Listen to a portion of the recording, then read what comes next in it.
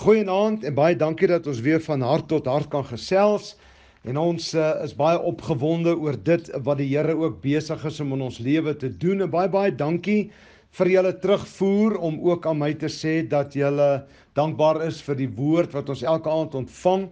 Ek wil net vir almal sê dat julle is baie welkom om ons YouTube kanaal te gaan besoek. Al hierdie gesprekke wat ons het en die bediening van hierdie woord elke aand kan ook daar gevind word en daarna geluister word en daar kan jy gaan en jy kan dit deel met al jou vriende, al jou vyande en al jou familie en almal wat jy ook in jou hart het en ook op jou lyste het, kan jy dit mee deel en hulle ook uitnooi om deel te word van die Dunamis Tabernakel Sandra se uh YouTube kanaal waar al ons boodskappe en goed nou geplaas is ter wille van hierdie tydperk waarin ons onsself bevind.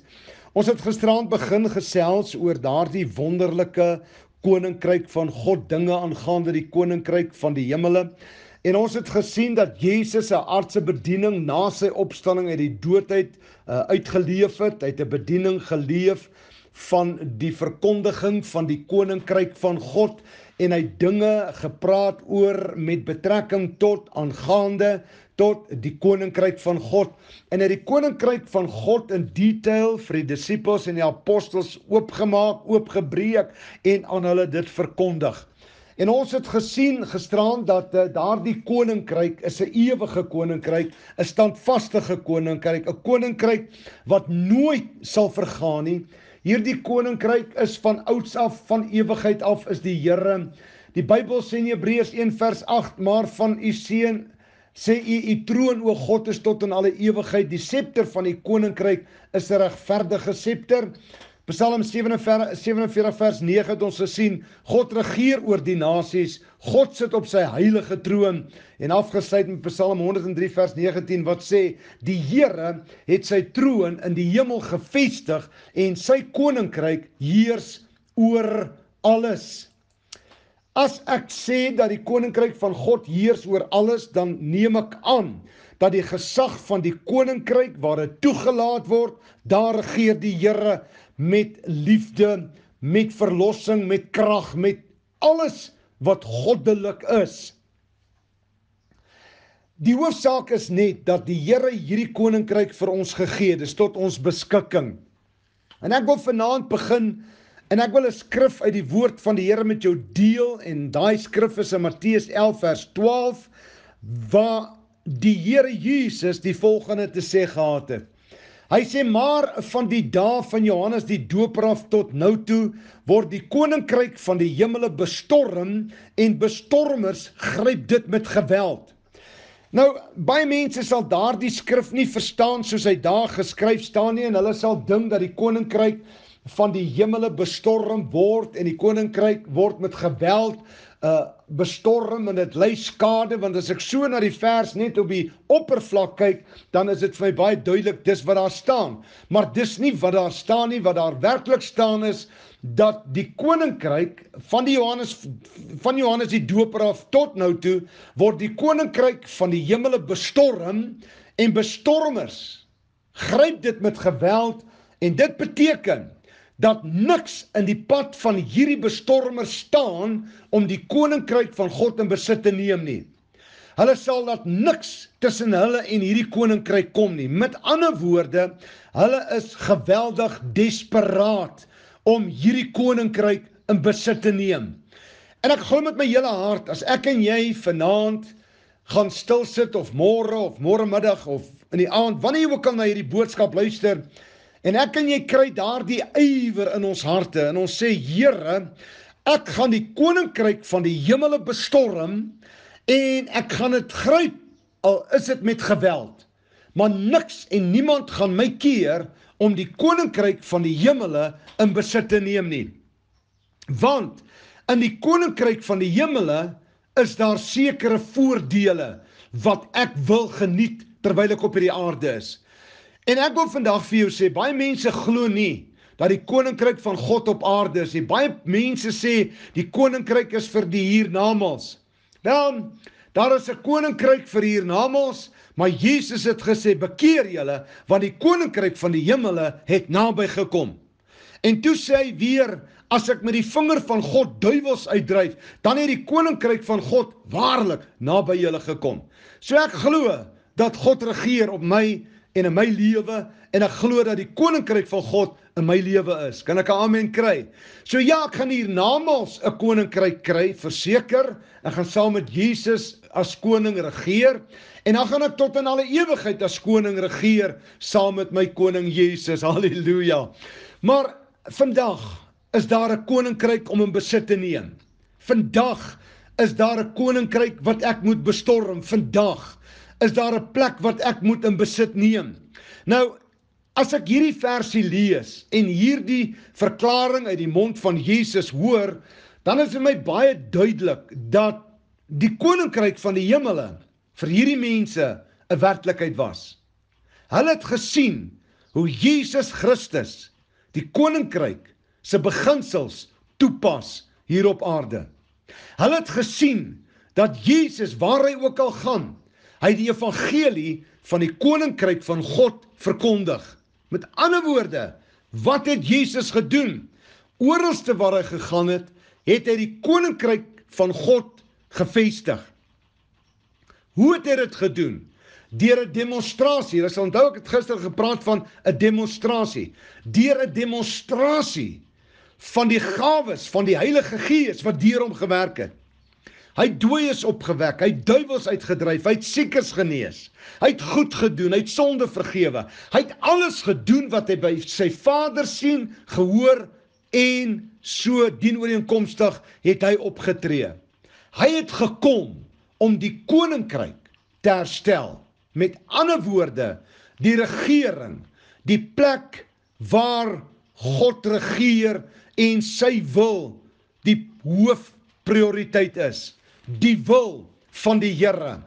En ek dink ons moet ook begin desperaat raak in hierdie uur om die koninkryk van God in besit te neem. Absoluut desperaat te raak om hierdie koninkryk van die hemele in besit te neem. Hierdie is nie die koninkryk daarbo nie. Hierdie is die regering van God hieronder. Soos Jesus ek en jou leer bid het. Laat u naam geheilig word. Onse Vader wat in die hemel is, laat U naam geheilig word. Laat U koninkryk kom. Laat U wil geskied, soos in die hemel, net so ook op die aarde. Jesus sê, gaan julle ouens en bid dis wat julle moet bid. Wat moet ons bid, Here? Julle moet dit bid. Julle moet hom Vader noem. Halleluja. En dan moet julle vir hom vra en vir hom sê, laat U naam geheilig word. Dis prioriteit. Die naam van die Here moet geheilig word. Nommer 2. Laat u koninkryk kom. Laat u wil geskied. Wanneer? Wanneer? Eendag as ons dood is. Nee, luister mooi. Jy kan dit gaan lees. Matteus 6 vers 9. Hy sê soos in die hemel net so ook op hierdie aarde. Op hierdie aarde. Laat die koninkryk van God kom op hierdie aarde. En as die koninkryk nie vir jou 'n werklikheid is nie, sal jy nie desperaat daarna uitreik nie. Jy sal nie met alles wat binne in jou is desperaat raak om die koninkryk van God in besit te neem nie. Vir hierdie mense wat die koninkryk bestorm het, was die koninkryk van God 'n werklikheid. Dit was 'n veilige plek. Dit was 'n plek van verlossing. Dit was 'n plek waar God regeer het in hulle lewe. Dit was 'n plek waar hulle vergifnis ontvang het. Dis 'n plek waar hulle genesing ontvang het. Dis 'n plek van oorwinning en daar was 'n desperaatheid om daarin te gaan. En hulle het gehoor Jesus sê, die koninkryk van God het naby gekom. Bekeer julle. Ek bid vanaand dat God ek en jou help om hierdie koninkryk te bestorm met alles wat binne in ons is en laat niks en niemand in ons pad staan om deel te raak van hierdie koninkryk nie.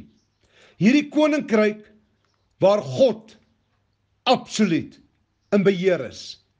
Waar God se wil is. Waar God se naam geheilig word. Waar God sy wil laat geskied soos in die hemel, net so ook op die aarde. Ek gaan vanaand begin met jou praat. Een wil ek vir jou sê, raak geweldig desperaat. Raak desperaat. Want hierdie beskermingsfunksie waaronder ons nou vasgevang is, gaan nie vir ewig hou nie. En dan gaan ek en jy uit.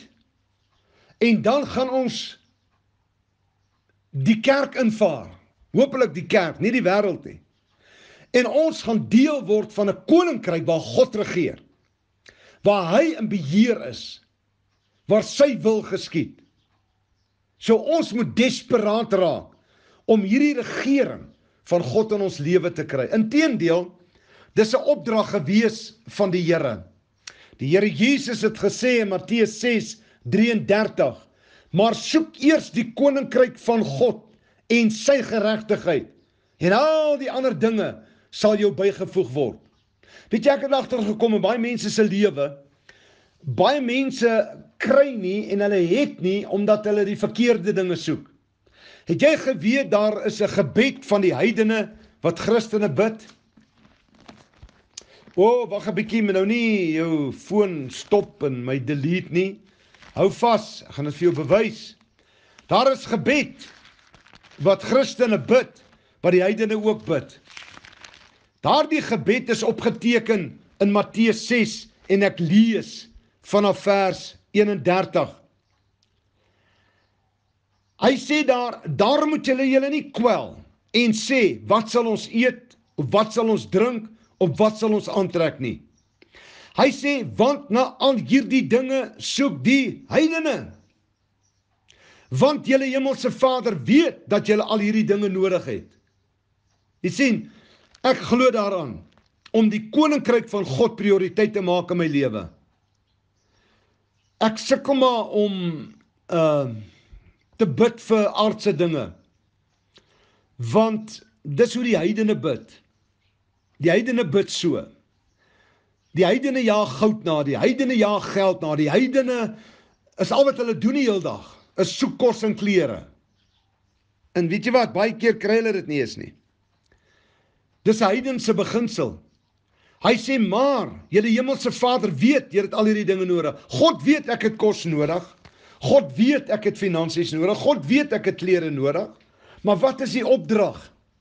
Wat is die opdrag? Die opdrag is soek eers die koninkryk van God en sy geregtigheid en al hierdie dinge sal vir julle bygevoeg word. Watter dinge? Die dinge wat die heidene na soek. Kos en klere en geld en al daai wonderlike dinge. En nou sê ek nou nie, jy moenie werk vir jou geld nie. Moenie ding ek gee jou nou 'n kaart blanche kaartjie om by die huis te sit en nie te werk nie. Ons moet werk. En as ons kan werk, moet ons werk. En die feit van die saak is dit. Maar ons hele lewe moenie 'n dringendheid wees of 'n desperaatheid om skat op hierdie aarde bymekaar te maak en te kyk vir dit en die en daai nie. Ons desperaatheid as kinders van God is om die koninkryk van God heel eerste te soek. As ons die koninkryk van God soek, is daar definitiewe voordele wat aan die kerk voorgehou kan word. En ek wil dit vanaand in jou voorhou. En ek wil hê jy moet baie mooi luister na elke vers wat ek vanaand gaan noem, want dit is tot jou voordeel. Moenie bekommerd wees oor wat jy gaan eet, aantrek of wat nie. Soek eers die koninkryk en al hierdie dinge sal vir jou bygevoeg word. Kan ek 'n amen kry daar buite? Daar sê. Nou kom ons kyk na wat se voordele is daar in hierdie koninkryk as ek God begin soek, sy wil soek, sy sy verheerliking soek, sy sy aanbidding soek, sy lofprysing soek, sy eer soek. Daar is absolute voordele wat dit inhou vir ons. Onthou net Jesus het gesê, soek die koninkryk en die res sal vir jou bygevoeg word. En daarbey sê ek net weer vir jou, dit beteken nie ons moet nie werk nie. Ons moet werk. Maar ons weet nou mos al werk ons, gaan dit baie swaar, baie dae. Maar ek wil hê jy moet weet, ek en jy het 'n belofte. Ons moet God begin vertrou in hierdie uur soos nog nooit vantevore nie. Die Bybel sê vir my in Psalm 9 vers 11: Hulle wat u naam ken, sal op u vertrou, omdat u die wat u soek nie verlaat nie, o Here. Die oomblik as ons God se koninkryk begin soek en hom soek, hom soek, niks anders nie. Ek soek die Here. En die Bybel sê, hulle wat die Here soek, sal nooit verlaat word deur die Here nie. Is dit nie 'n wonderlike belofte nie? Psalm 34 vers 11.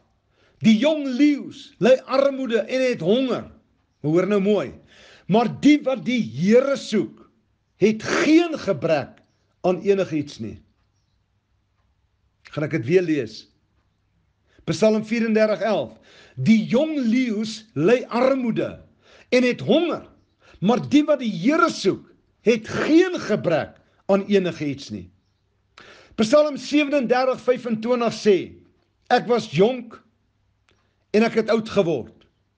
Maar ek het nooit die regverdige verlate gesien of dat sy nageslag brood soek nie.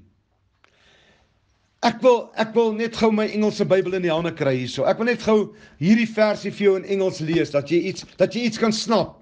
Ek bly net vinnig soet. Ek wil net met iets snap uit die woord van die Here vandag. Die Afrikaanse Bybel sê ek was jonk. Halleluja. Hy sê maar nou is ek oud. Hy sê maar ek het nooit nooit die regverdige brood sien soek nie. Nooit nie. Die Engelse Bybel sê die volgende en dit is my baie mooi.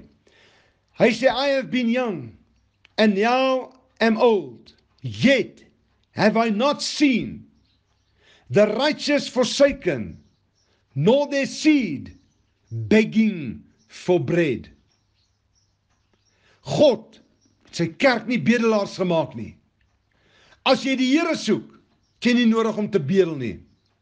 God nie nodig om te bedel nie. Absoluut nie nodig nie. Soek die koninkryk van God en sy geregtigheid en al hierdie dinge sal bygevoeg word. Spreuke 28 vers 5. Slegte mense verstaan die reg nie, maar die wat die Here soek, verstaan alles. Die wat die Here soek, verstaan alles. Halleluja. Ons verstaan alles. Prys die Here.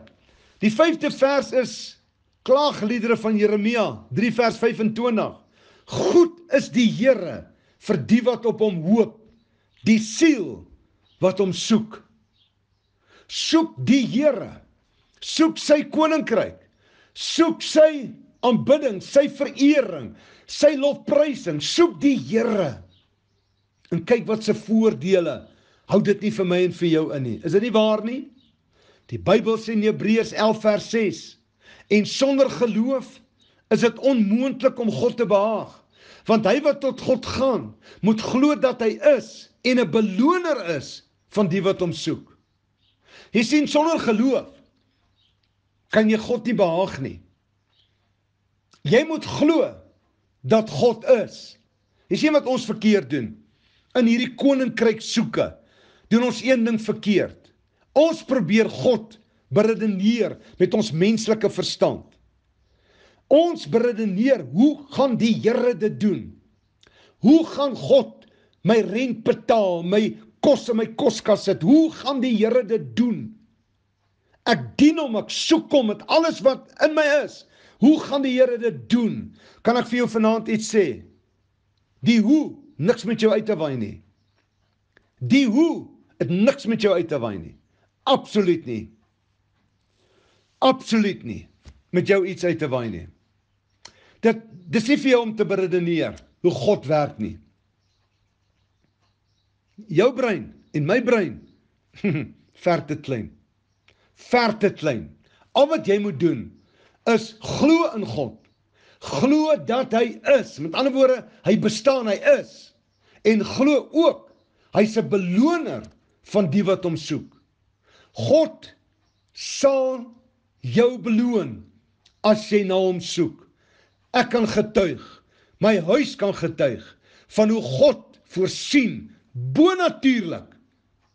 Bonatuurlik. Want ons soek eers die koninkryk van God. Dis belangrik. Absoluut belangrik. Hoe soek ek hierdie koninkryk? Deur wat te doen? 1 deur te glo in alles wat ek vanaand vir jou gesê het. Elke woord wat uit die mond van God uitgegaan het, bewyse van sy skrif, glo dit met alles. Nommer 2. Nommer 2. Jeremia 29:13. En julle sal my soek en vind as julle na my vra met julle hele hart met julle hele hart as jy na God vra vanaand met jou hele hart luister mooi met jou hele hart nie met die helfte van jou hart nie jou hart kan nie verdeeld wees op God nie my hart kan nie in twee stukke wees nie een stuk behoort aan die wêreld en die ander stuk behoort aan die kerk nie 'n onverdeelde hart haleluja onverdeelde hart. God is op soek na onverdeelde harte wat op hom gerig is. Jy sal my soek en vind as jy na my vra met jou hele hart. So kom ons sorg dat ons hele hart aan die Here behoort. Totaal en al.